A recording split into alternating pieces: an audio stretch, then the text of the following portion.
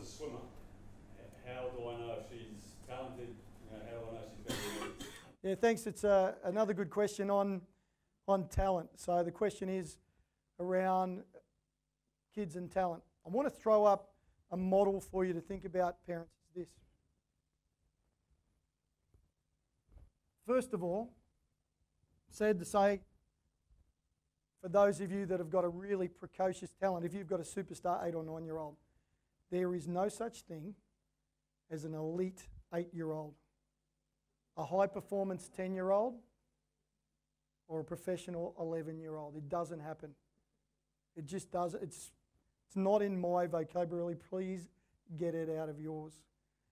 My job from 1992 to the 2000 Olympics was to go around Australia and try and find and identify talented athletes, pull them into a high performance program, and help to get the best out of them for the 2000 Olympics.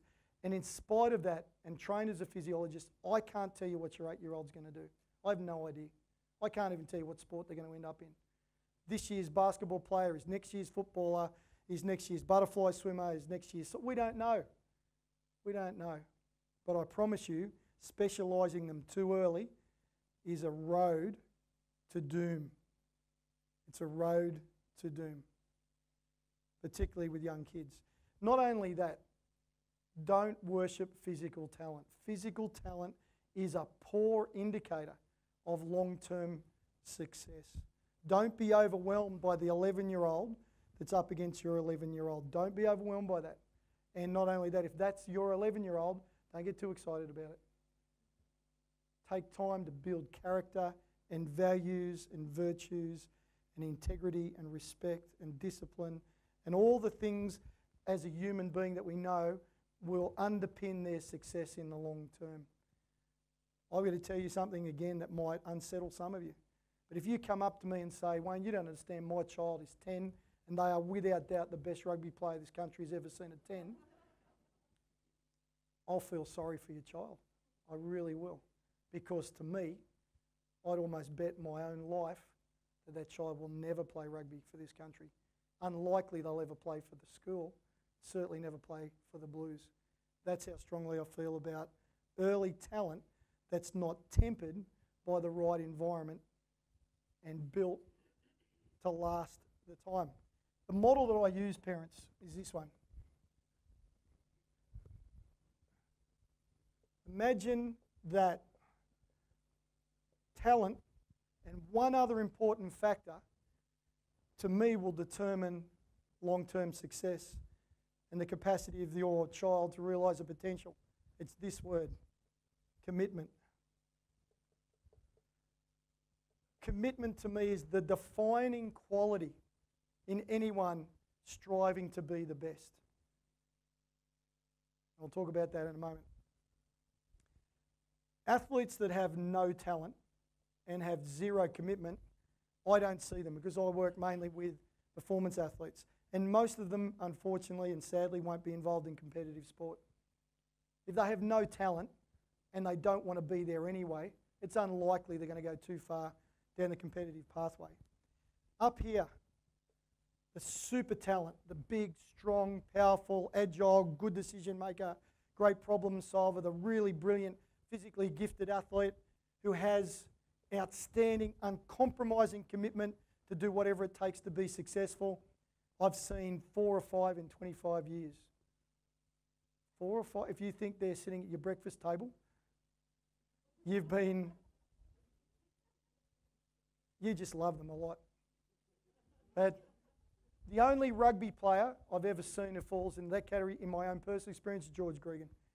So I had a chance to work with him at the Brumbies and with the Wallabies, and he had the total package.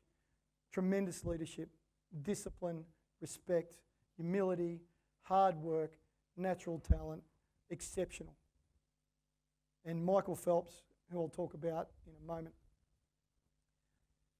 In this box, and this is the most important part of this little session bit, the hardest athletes to deal with and the ones that break your heart as a coach and the ones that take up the most of our time are those ones. You know those kids, and we all grew up with them. and you go, this kid could be anything. Oh my, have you seen what they can do? They don't train, they turn up late, and they can score from anywhere. They've had next to no training, but look what they're capable of doing. And they could be anything.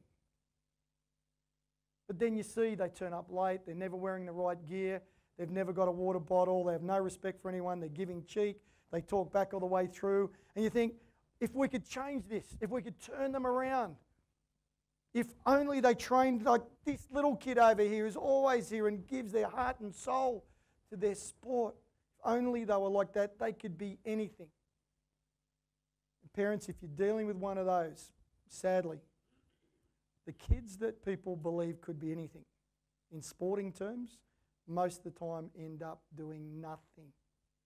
Those precocious talents who got there easy, who don't have an attitude of commitment and hard work and passion, and who just want to be there, rarely, rarely if ever, achieve the success that you think that they might. I got a really sad story on the Gold Coast. A mum that I know, three boys, and the stories are identical. Super talent, 10, 11, 12 years of age, national champions, not even swimming at 15. The three boys, four years apart, exactly the same pattern. Big kids, strong kids, powerful kids, but undisciplined, poor attitude, disrespectful, late, bullies, no character, no value, no quality other than this great physical ability. And it happened with the oldest boy, and they didn't see it. And it happened with the second boy, and they still couldn't see it. And the third one has just given up swimming after winning four national titles. It's heartbreaking. It's heartbreaking to see it. Don't worship physical talent. Believe it or not, the majority of athletes I work with, even at professional level, are not untalented. They've got some talent, but they're just driven and passionate and committed.